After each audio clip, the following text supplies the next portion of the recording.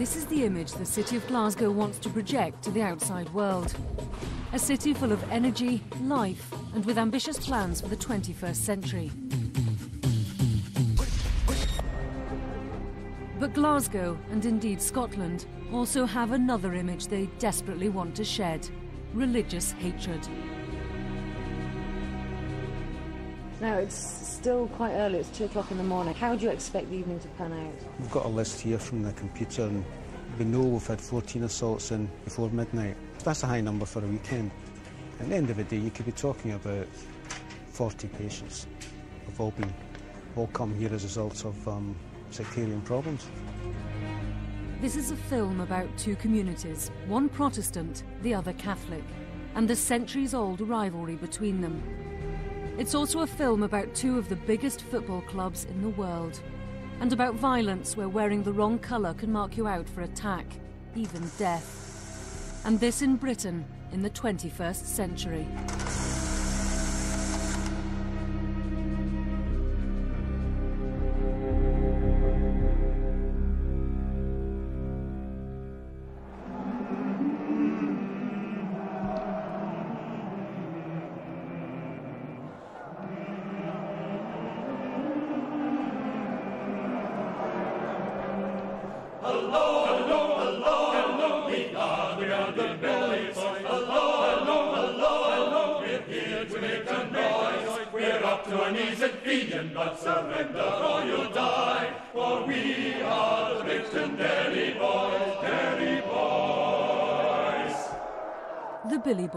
A song sung by generations of Protestants in Scotland.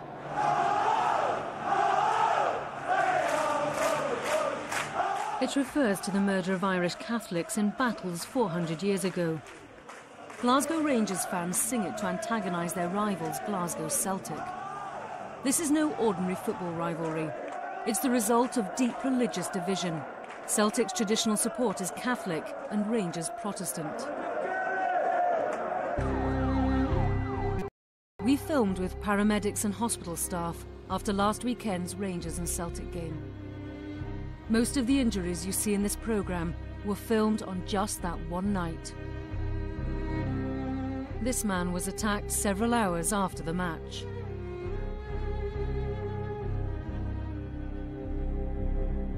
I'm a regular at Celtic and Rangers games. Regular. I get a ticket usually every game.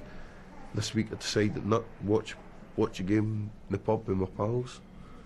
This is what happens. Just makes you wonder, know what I mean? There was sectarian stuff, no? Turned round.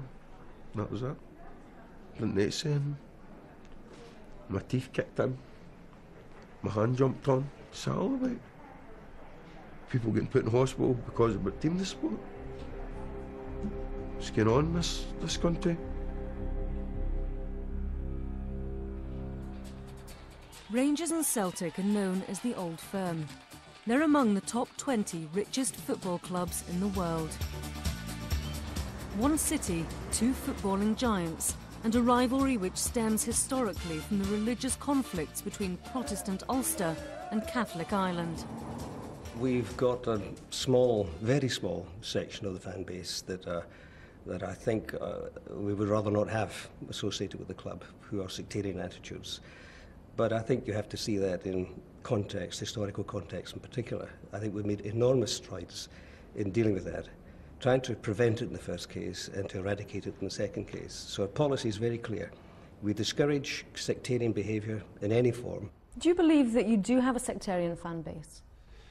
Very small, and I think it would be wrong of me and crass of me to deny there is not some unacceptable fans who support our club. But I genuinely believe it's a minority, it's improving, but we should never be complacent uh, and hopefully that one day it can be totally eradicated.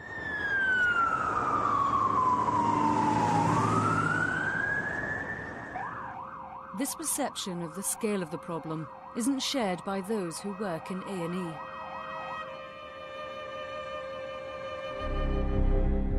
If people who don't understand it, down south it would probably be like if you had an all black team and an all white team, and the all black team were only supported by blacks and the all white supported by whites.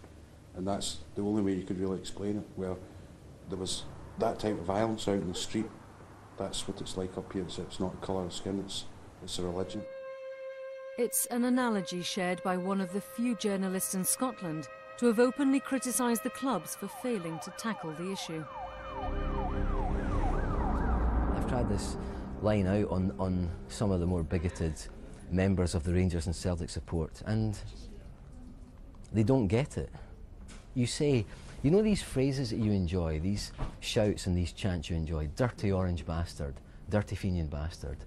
Imagine if it was actually dirty black bastard, there's no doubt about it. If it was rank racism as opposed to rank bigotry, I think it would have been cured long ago because we would never have accepted it. It would have been just too embarrassing.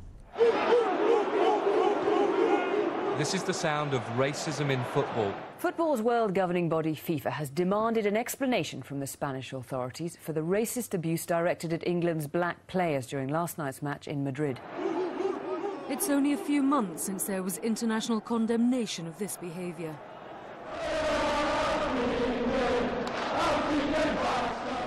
But no such condemnation for singing such as this. Rangers fans baiting their Celtic rivals only last week.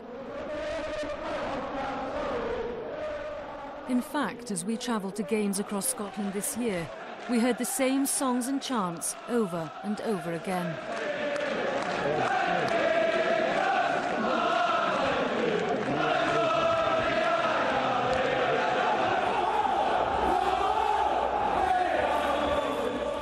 The Billy Boys, clearly the Rangers fans' favourite. But these fans could now be arrested for singing this song. Since June 2003, sectarianism in Scotland has been outlawed. If someone commits an offence, such as an assault or uses abusive language, and it's based on religious prejudice, it's now treated as a sectarian crime. 450 people have been arrested in the first 14 months of the law. But sectarianism goes well beyond what we see on the terraces.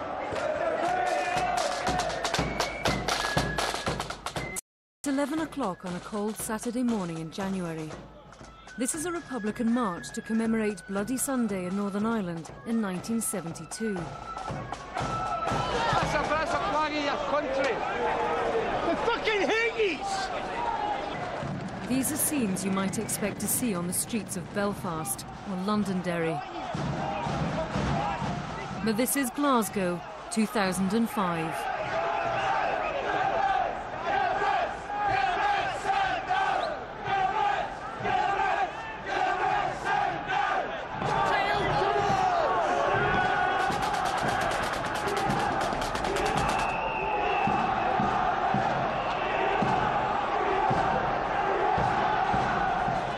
About 1800, Scotland was overwhelmingly a Protestant nation.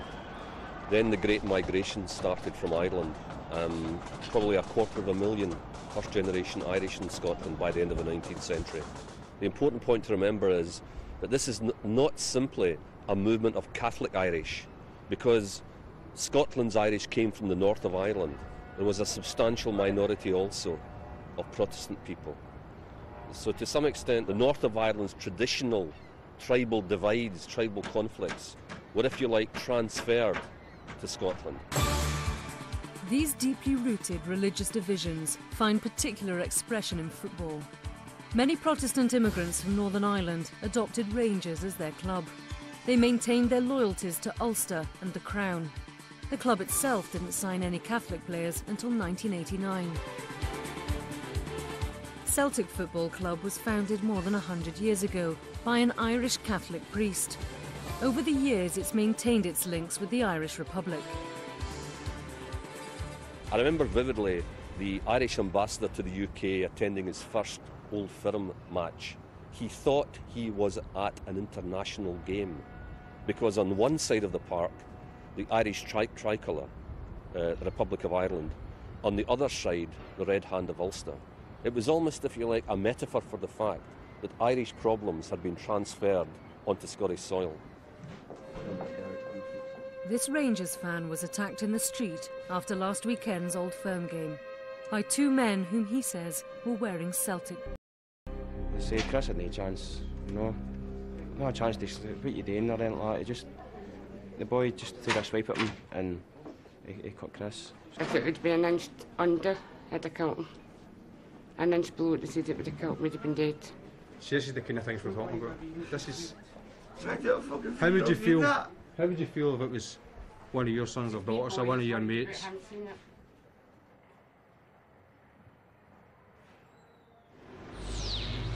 Fan was shot and badly injured today with a crossbow bolt on the city's south side. teenager who murdered his next door neighbour by stabbing him 150 times for wearing a Celtic strip. Detectives appealed for witnesses to the attack. Police insider said there was little doubt it was a potentially murderous attack on the supporter. For generations, Scotland has been in denial about um, this problem of sectarianism. God's sake, it's 200 years old. It is actually embedded very strongly within the culture, particularly the culture of the west of Scotland. And so it's so familiar, it's so routine, that people don't actually think, or have not thought until recently, it's a big issue. It's a fact of life. It's part of the way of life of the society. But now, for the first time in generations, there are moves on the political front to tackle sectarianism. Taking the initiative is Jack McConnell, Scotland's first minister. He described religious bigotry as Scotland's secret shame, upsetting a lot of people.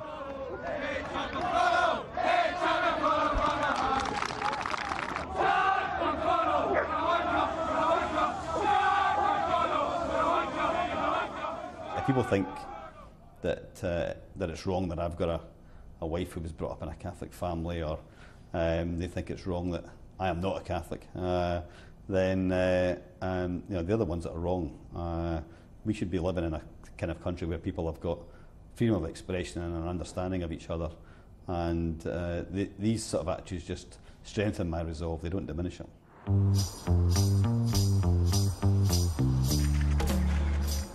Two weeks ago, Scotland held its first ever national summit on sectarianism. More than 30 organisations, including the leaders of Scotland's main churches, schools, the Orange Order, and both Rangers and Celtic, gathered together to debate tackling the issue of religion. This unprecedented meeting of minds was chaired by Jack McConnell, the First Minister. I don't want people to be ashamed of their traditions. But when that spills over into hatred of another religion, hatred of another community, then that is what is wrong. And it's the public expression of offensive behaviour, the public expression of offensive language, offensive marching, uh, the, the public hatred of others, uh, and the encouragement in younger generations to feel that way too, that I think is most offensive in Scotland, and that is what we have to change.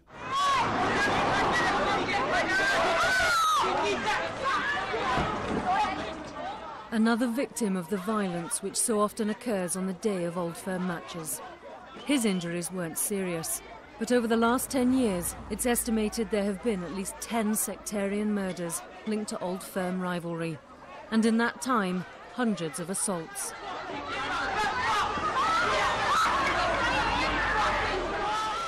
It's based on prejudice, it's based on ignorance, it's based on pure badness. Uh, but whether it's uh, because you wear a particular football top, or because of your a particular faith, or because you're a particular colour, uh, you know, these some things for, for reasonable people uh, like like you and I, uh, and, and the vast majority of, uh, of people in the United Kingdom, it's very very difficult to understand. If you were a Martian uh, and you, you came upon uh, the setting of Rangers or Celtic on a, on a Saturday afternoon, if you were suddenly parachuted into Ibrox and you heard this going on, you heard the venom, you heard the rancid chanting, you, you heard the ignorant, uneducated, prejudiced sentiment that came from the terracings, you really would think, God, this is a savage society.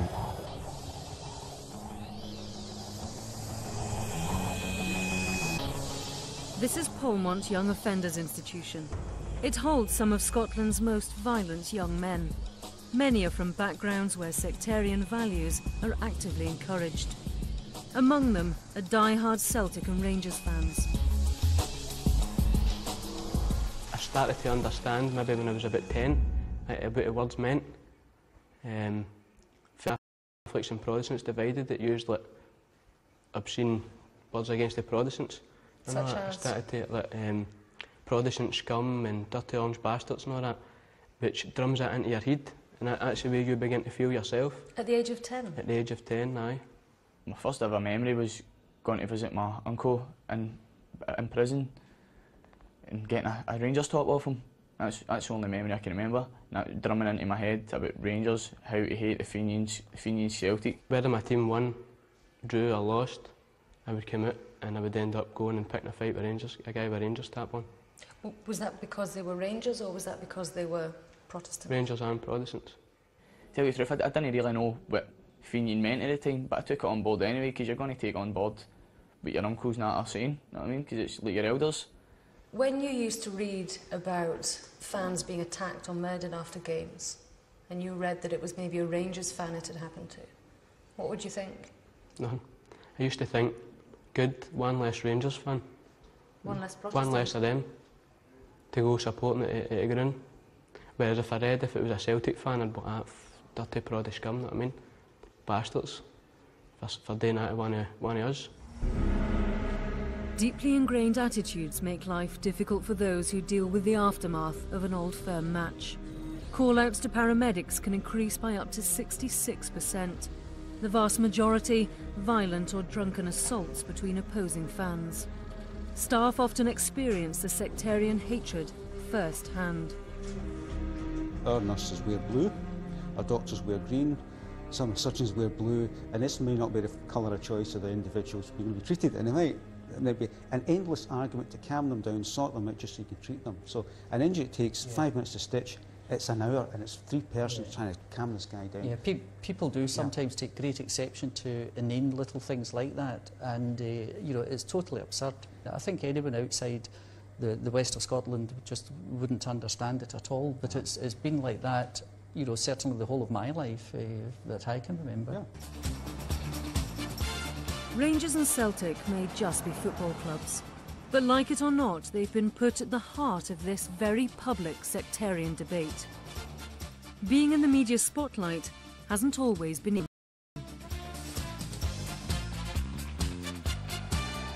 Paul Gascoigne celebrates a Rangers goal by imitating a loyalist flute band. Donald Finlay, high-profile barrister and vice-chairman of Rangers, leading sectarian singing. Celtic manager Martin O'Neill endorsing an anti-sectarian initiative. You personally think you can do anything at Celtic Park to stop it, the singing, the sectarian chanting from the, the stands? Who? You, could you make an appeal to, to people who do this, to tell them to stop it? Well, I, I, I know you, you're asking me, uh, could I make an appeal? Um, do you think that would be heard if we were 3 0 down at home in a game? you know, it, you know it, it, that might be quite difficult. You know, I would say that the, fair, the chanting would probably be levelled at me, to be perfectly honest. You know? You want to sidestep this issue, is it? Pardon? You want to sidestep it at the ground? That's what I'm saying, that there is sectarian No. chanting going on at the ground, but you don't want to address it yourself personally. You're asking me that question? I'm asking that question. Are you? Is it- How- if how- it's an issue for you as a manager with, with fans chanting sectarian songs, do you think you should be addressing that uh, problem? Uh, well, how, well, you tell me then. All right. I'm asking me. the question. No, no, you're no, but you, you've obviously got an answer to it, so you'd let me know. I don't have an answer. You're the Well, manager of the I. football. I don't have an answer either. Celtic manager Martin O'Neill's claim that his midfield player Neil Lennon was a victim of racist and sectarian abuse during Saturday's Old Firm game. Three years later, and for Mr O'Neill, things now seem a little clearer.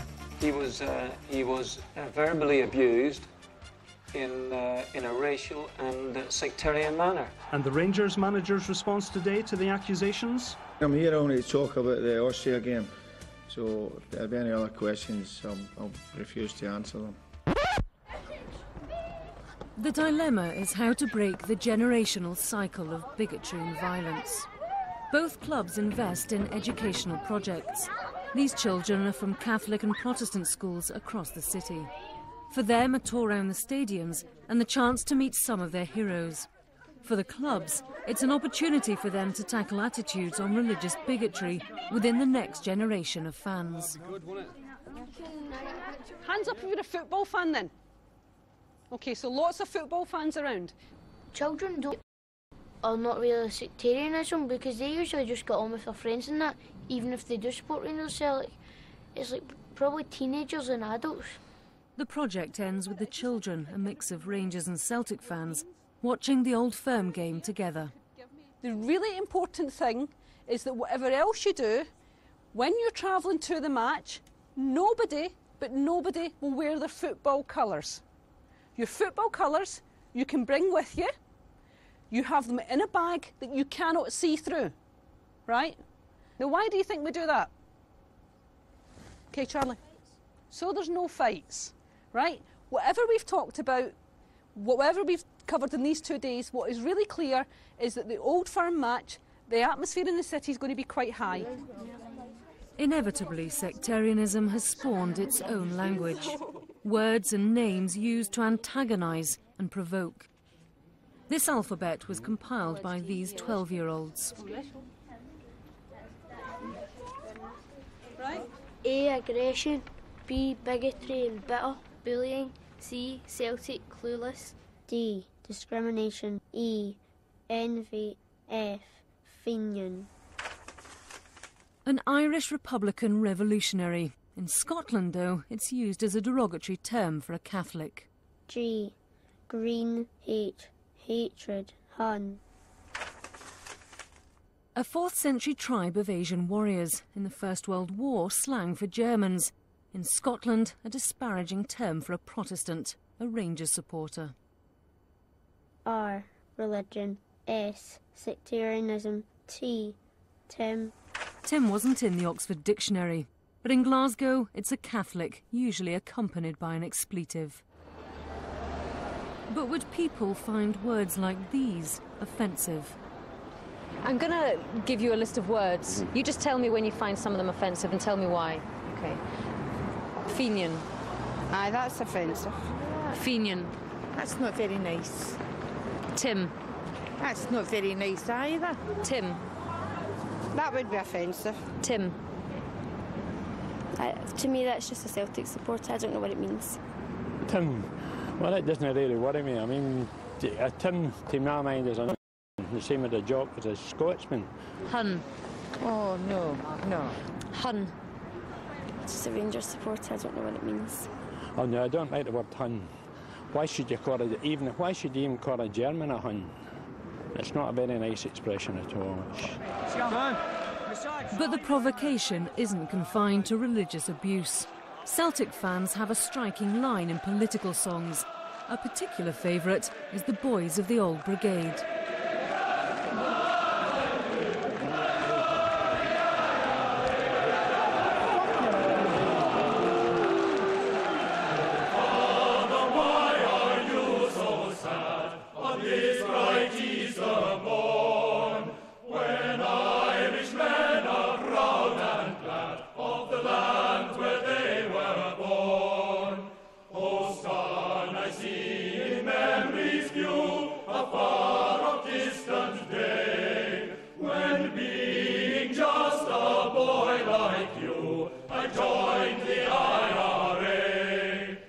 Come to games at Celtic Park now, you will have to listen very hard to hear any song sung which have got religious uh, content, which are indications of religious bigotry or intolerance. It doesn't happen.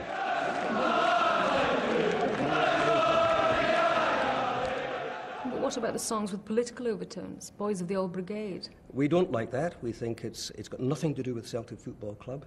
We have no political affiliation of any kind at all. We think it's out of place at Celtic Park.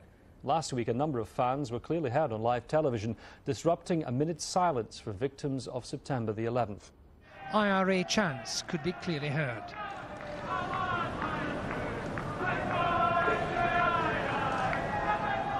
And it was those songs that led the chief executive to send a letter saying, This is no place in our club, we don't want it. We will not defend them. We think they're doing the wrong thing and we want to discourage them from coming to Celtic Park. Just a week after the strongly worded letter was sent to fans, the same political songs could be heard again. The game's now 20 minutes old and Celtic have scored their first goal. The fans have barely stopped singing for the whole of the match, and the words IRA could clearly be heard in the first five minutes, sending a note of defiance to the Celtic board. Both clubs argue, although they've some control over their home support, if fans travel to away fixtures, that it becomes more difficult. people who go to the away games and who are more numerous, certainly noisier at the away games than at the home games, are not season ticket holders. Now, you can withdraw a season ticket if the person owns one. If they don't own a season ticket, there is limitations to what you can do. So, what can you do? Nothing, well, you it can, seems. You can work with the other clubs. You could try and assist them before the match day. You can have a relationship with the local police. You can send stewards to the ground to try and make sure there's the good behaviour. But as I say, the responsibility for conduct inside the ground is ultimately that of the home team. Today, the Irish rebel songs still continue. This is Celtic's away support filmed by us in the first two months of this year.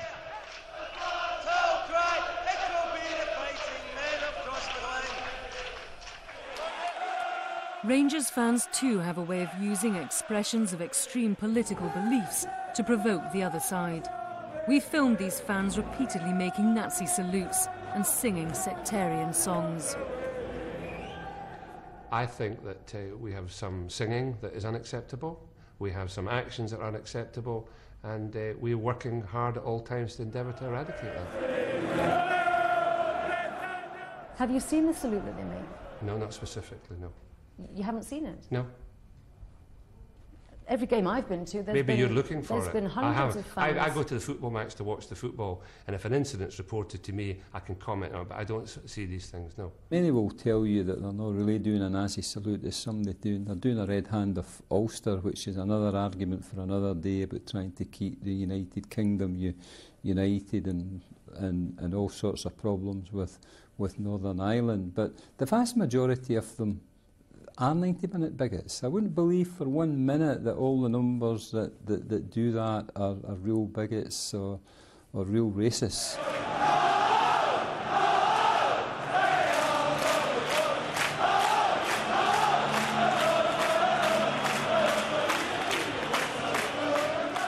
What would be the message to the fans who, on Sunday's game, stood in the terraces in their thousands and sang the most offensive, vile, hateful songs and chants? Out and out religious hatred. What, what will you say to those fans?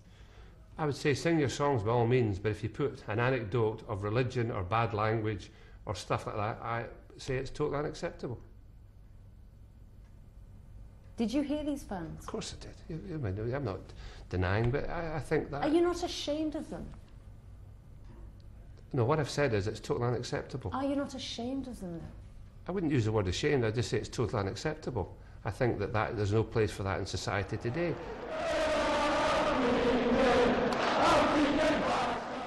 There is a very phony debate going on among some supporters who try to justify their their chanting. I met a member recently uh, uh, of the Ranger Supporters Trust, a supposedly progressive, modern, forward-thinking fans movement. Well, you know, he said the Fenian word, you know, you have to understand its political context. I said, look, do not insult my intelligence and your intelligence by pretending that the vast ranks of the Rangers fans who are singing Dirty Fenian Bastard are all mid 19th century political historians who are concerned with political dissent in Ireland. Of course they're not. By Fenian, they mean Catholic, and that's what they mean. Another young victim caught up in the bloody aftermath of last week's Old Firm game.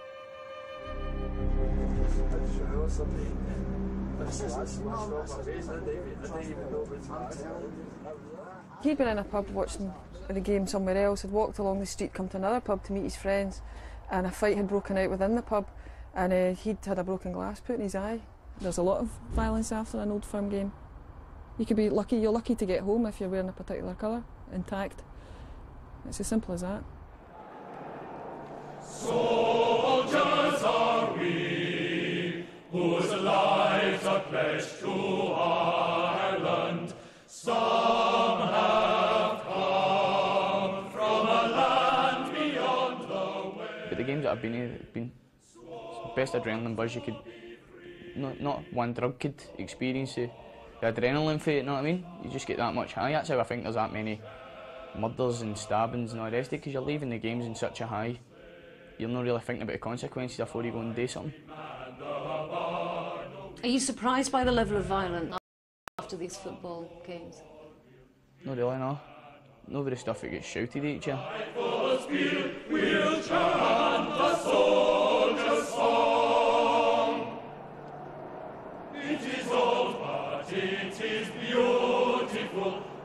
Oh,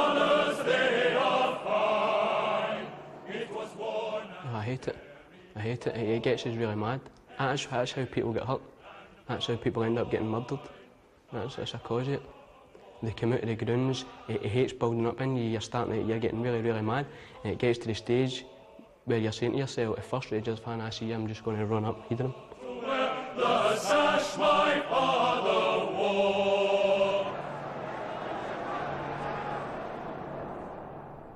Rangers is the only club in Scotland to have set up a sectarianism and racism monitoring group. We were invited to one of their fortnightly meetings.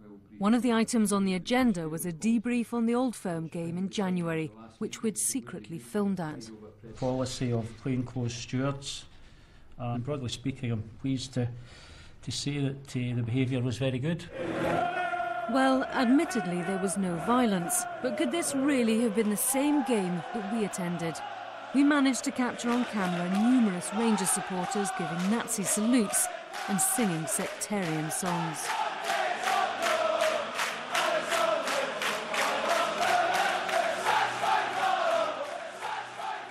I have said on many, many occasions that I don't think we really have a, a, huge racist problem in the west of Scotland. I don't think we have a huge sectarian problem, but we do sometimes have a problem of big mouth, and that's what the 90-minute bigot tends to be, is, is someone who's shouting something loud, but that he doesn't really mean it. Well, I think when a young man can have his throat cut and bleed to death just because of the colour of a scarf or a top he's wearing, that's not 90-minute bigotry. That's a lifetime of bigotry and several generations of bigotry just demonstrating itself. And it's certainly not just a 90 minute episode. That's it in a nutshell, really. The violent aftermath of the Old Firm match last week pushed crisis-hit hospitals to the One verge nurse said that Sunday night, like any other Old Firm day, was like a bloodbath. Statistics just A spokesman said the incidents after Saturday's game were horrific and show once again the desperate need for urgent action. What action would you take against a fan who's been deemed to be singing or chanting something which is unacceptable in the club's eyes, something sectarian? We pursue it uh, as vigorously as the law permits. If that points us toward a season ticket holder or a supporter who's been, first of all, charged with sectarian behaviour, we suspend his entry to the ground, take away his season ticket. And if he's convicted of sectarian behaviour, we can take away the ticket, and we do so, and that's an indefinite suspension. How many people have you taken that action against? This year, one, because, as I said, only one conviction has been achieved in the courts of sectarian behaviour. Have you lived in Glasgow 20, 30, 40 years ago? There were hundreds of arrests at games. and Fighting would break out in the terracing, and bottles would be thrown. Now, measured in an historical context, I think we've made very, very considerable strides in Celtic's policy to continue with that effort to try and reduce and, if possible, eliminate sectarian behaviour at Celtic Park. For seven years, Rangers have been collecting data on their own offending fans. We've given 14 life bans, 110 told not to come back, and there's been over 1,200 warnings. We're working at it. How many of those numbers were banned or identified for sectarian behaviour? I cannot be specific on that because you'd have to ask Lawrence that, who I believe you've interviewed. I've asked him and he can't answer that question either. Well, if you want us to go and find out before you put this programme, we'll give you the exact number, but I'm sure there was a, a vast majority would be of that. Do you think it would be worth it for the club to actually try and find out the scale of the problem by trying to identify how many of these fans have committed these Well, I think I've already said to you, we're working around the clock. We can only do so much. It's not just a problem with Rangers and Celtic or football in general. It's a social situation that has been in Scotland for years, which I think has been overblown up. We asked again for the number of fans penalised by the club for sectarian behaviour. They couldn't establish this, they said, because of data protection.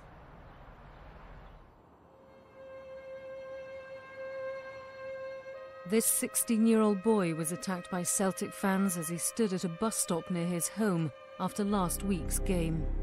We've just had a, a chap there, a young boy, 16, who to the outside world looks like a, a Rangers fan. He's wearing red, white and blue from top to toe. And when we uncovered him to expose and examine him, he's wearing a Celtic top underneath. Now that wouldn't have been seen by a passerby. But he's de absolutely determined it's a, a supporters issue. He's, he thinks he was attacked because of the colours he wears. Policing last weekend's Old Firm match was a major operation. With 60,000 fans expected to attend, it's treated as a Category A major incident. There'll be more than 500 officers involved in policing it. Now they also have the added burden of having to enforce the new law on bigotry. People often refer to this 90-minute bigot. well, you know, whether you're a 90-minute bigot or a bigot 24 hours a day, if you come and commit a religious prejudice crime at a football match, our view, my view, is that uh, you should be arrested, and, and, and that's, that's the stance we've taken. We cannot just simply say too many people are doing it, it's too hard, I'm going to turn a blind eye. We have to go in and take some form of action, and I suppose uh, perhaps go for, for those who are the worst offenders, those who are the most obvious, those who are the most outrageous, those who are the ringleaders, and that type of thing. And you come and take your seats. One group of football fans who won't see any of this are the 30 youngsters from the Sense Over Sectarianism project. They change into their team strips after they arrive at the stadium because it's too dangerous for them to travel in their colours. They're also segregated from the crowd for their own safety and watch the game in one of the club's canteens.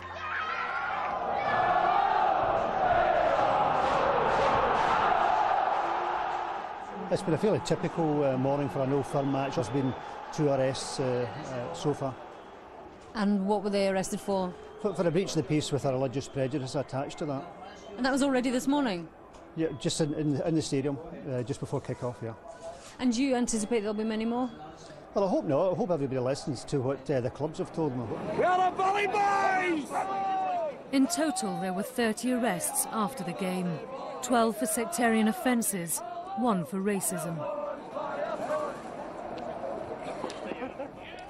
Um, you can either sit on your backside and do nothing about it and accept that nothing will ever change, or you can try and change attitudes, but encouraging the next generation, because that's the real focus here, the next generation, uh, a different set of attitudes, far more tolerant and understanding, uh, and therefore reduces the amount of violence and intimidation that takes place. The political will is there, so too is the law. But what of the clubs? How they exercise their considerable influence over their support could be a major factor in determining when Scotland will finally be rid of its secret shame. You have the drama of the game itself and the atmosphere. And yes, if you ignore the specific sentiment, if you ignore the bigoted vocabulary, yes, it's an exciting environment. But my point is, down the nexus chain, there is death at the end of it. You have the passion, you have the tribalism, you have the aggro out in the street, you have the policing, you have the fighting, and down the line, you have tragedy.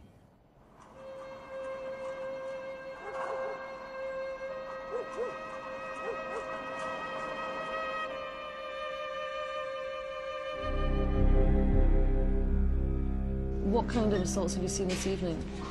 Um, at least one, two, three people have been slashed in the face. Uh, a barmaid who was um, injured got caught in a crossfire. So there, are a mixture of people who've been picked out because they're, an obvious sectarian target, and other people are just innocent bystanders, people even just at the work getting injured. Now, it's still quite early, it's two o'clock in the morning. Yeah. You've obviously been on shift for a number of hours, but you've Yeah. got the rest of the night. How do you expect the evening to pan out? Well, it's difficult to give precise figures. Um, we've got a list here from the computer, and we know we've had 14 assaults in before midnight. Um, and that's, that's a high number for a weekend. There are also 21 other injuries. Once again, that's a profile of 20 to 40 year old males. So there could be assaults that have been hidden. At the end of the day, you could be talking about 40 patients have all been all come here as a result of um, sectarian problems.